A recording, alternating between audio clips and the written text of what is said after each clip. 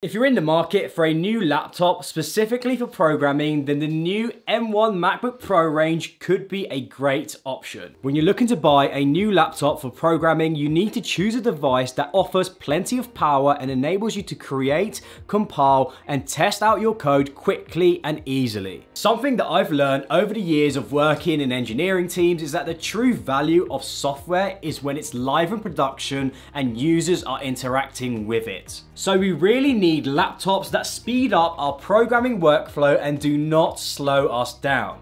This year, Apple released their new M1 Pro and M1 Pro Max processors with the new 14-inch and a 16-inch MacBook Pros. I'm a cloud engineer and use lots of different tools like Terraform, AWS, Python, containers, and a lot more, but I also work as a front-end engineer, so I'll be able to give a good mix of inputs for programmers in general.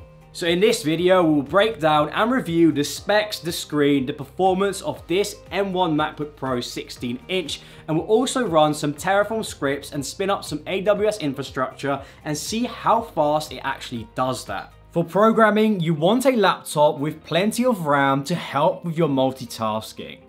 While coding itself is in an integrated development environment like an IDE application, that doesn't really require that much computing power, but the more powerful that your laptop is, the better it will be at compiling complex projects. If you work for a big global organization, then the chances are that you are compiling fairly complex and integrated projects together. With these new M1 MacBook Pros, you can actually upgrade your RAM to 64 gigabytes of super fast unified memory on these MacBook Pros, which means you can multitask at ease and everything that you do is fast and fluid. So you can compile your code whilst Googling what on earth the metaverse is and how NFTs work.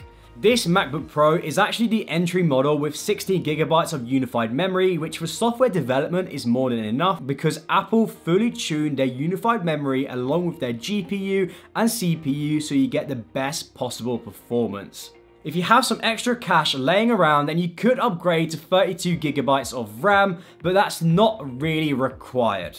For processing power, you can max out the specs on this Pro with 10 core CPU, 32 core GPU, and 16 core of Apple's Neural Engine. It also comes with 512 gigabytes of SSD as standard, but you can upgrade that also to 8 terabytes. Not only does this M1 MacBook Pro 16-inch compile your code very quickly, it's powerful enough to run your code in test environments, including emulated devices that allow you to see how your game or program works on a range of products. If you are a programmer who specializes in iOS or Mac apps, then this 16-inch MacBook Pro is super impressive with using Xcode as Apple have optimized the development of their own native programs and their hardware so you get the best possible performance, similar to what you get with Final Cut Pro and Max. So a couple of weeks ago, I came across this tweet and we'll pop it up on the screen right now. And basically says, we recently found out that the new 2021 M1 MacBooks cut our Android build times in half. So for a team of nine $32,000 of laptops will actually save 100k in productivity over 2022. The break even point happens at three months. So that's basically engineering hours are much more expensive than laptops. This completely blew my mind and there's a lot of people that say that MacBooks aren't great for backend or Android development. However, as you can see from an engineer who works at Reddit and Reddit is a platform who gets millions and millions of requests every single day, they're saying that their build times have halved since buying the M1 MacBook Pros. It really puts it into perspective that MacBooks aren't just for front-end engineers or designers, and I know a lot of people on YouTube like to think that, but you know, MacBooks nowadays are built really well and there's a lot of applications, engineering for development are very much compatible with the new MacBooks. With that said, obviously when the M1 MacBook came out, there's a lot of applications that weren't compatible with the M1 chip, but now when you download any software, any engineering programming software, you can choose whether or not you want to download the software for the Intel based chips or the M1 MacBook chips.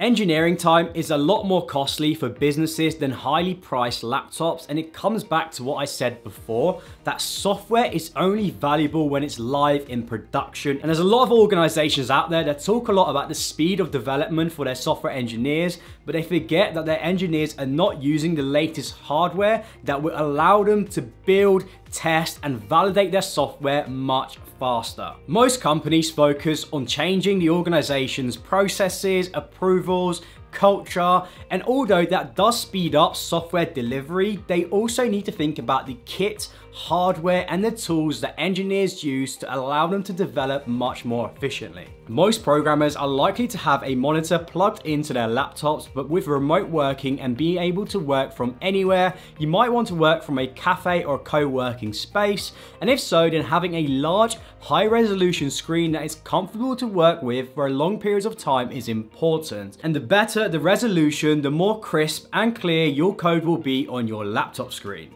The M1 Max Pros come with Liquid Retina XDR display similar to what Apple have in their $5,000 Pro XDR display, which is insane. You get such a high quality screen on a machine that you can just fit into your backpack. The ProMotion adaptive refresh rate means that scrolling through your code is super smooth and responsive, and the more screen real estate means that there's more space for your code, terminal, DevTools, emulators, and everything else that you use as a software engineer on the same screen. Now we have three USB-C ports and HDMI ports and this is great as you no longer need to carry around a stupid dongle to connect your laptop to an external monitor. There is a slight screen wobble on the new MacBook Pro range and it's a lot more apparent on the 16 inch rather than the 14 inch. For the battery life, normally you would get around 4 to 5 hours of programming usage, but with the new 16-inch MacBook Pro, you can expect a full days of work without charging, which is fantastic. The majority of my development time is on VS Code, which is a lightweight IDE and great for any laptop and using VS Code on the 16-inch screen allows you to see the majority of your code on your display. For any browsing or debugging your code, definitely avoid using Safari because it's not very developer friendly. Google Chrome also has a much better element inspector for the JavaScript DOM and if you use React then install the React Chrome extensions which allows you to investigate any React component with ease. So as I'm a cloud engineer I use a lot of infrastructure as code, predominantly Terraform so what we're going to do we're going to run a Terraform script and we're going to see how long that takes to execute and spin up some AWS infrastructure for us. So let's just go onto our configuration file. Very simple. All we're going to do is spin up a VPC and two subnets. And we can do that by... So if we run the Terraform plan command, it shows us what's going to be created. So let's run that. And that just took, what, one or two seconds. And you can see it's going to create a subnet, a second subnet, and a VPC. So now let's clear that again and press Terraform apply. And see how long it takes to execute. So here we can see it's already found what we're going to apply. Press value, yes. And now it's going to apply it for us. You can see it's creating a subnet, creation complete. And just like that, just so quickly, right? That was less than three seconds. It executed a script and it spun up our infrastructure in AWS, which is incredible. Now what we can also do is destroy it by pressing Terraform destroy. Uh, we'll tear it all down completely. As you can see, it says a VPC will be destroyed. As you can see, it will say the subnet's been destroyed and the VPC. So let's press yes. And just like that, our infrastructure has been destroyed. This Terraform script is obviously really lightweight, but it just puts it into perspective how fast it actually executes any sort of scripts or commands. Generally speaking, if you're a web, backend, mobile, or cloud engineer, then the new MacBook Pros are a great option to purchase for programming. The performance, the battery life, and the screen real estate is a great combo, but obviously it comes at a fairly high price. At $2,500, it is quite expensive, but the productivity that you get from this will be really high, and the return on investment that you get from your time spent not just waiting around for things to compile, you can spend a lot more time programming, testing, validating, rather than waiting for your program to compile and build. So if you are in the market for a new programming laptop, then the M1 MacBooks are definitely a great option for you. If you have another machine, you know, that does also perform really well, then just stick to what you have because not many people actually really like these MacBook Pros. I did make a video last year about why every software engineer has a MacBook Pro. And you know, there's a lot of people commenting, a lot of Windows fanboys that weren't really liking what I was saying. But there will be a part two of that video coming out soon, and that will hopefully bring things more neutral. But as always, thank you so much for watching. Don't forget to follow me on Instagram, at I am Soleyman, and I'll see you guys very soon for yet another video. Peace!